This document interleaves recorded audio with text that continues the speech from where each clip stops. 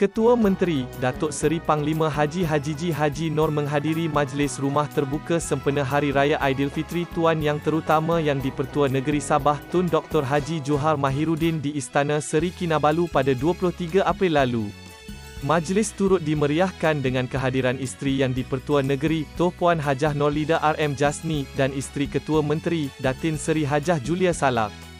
Turut hadir ialah Speaker Dun Sabah, Datuk Seri Kazim Muhammad Yahya, Timbalan-Timbalan Ketua Menteri, Datuk Seri Dr. Jeffrey Kitingan, Datuk Seri Dr. Joakim Gunsalam dan Datuk Insinyur Syahelmai Yahya serta ahli-ahli jemaah Kabinet Negeri yang lain.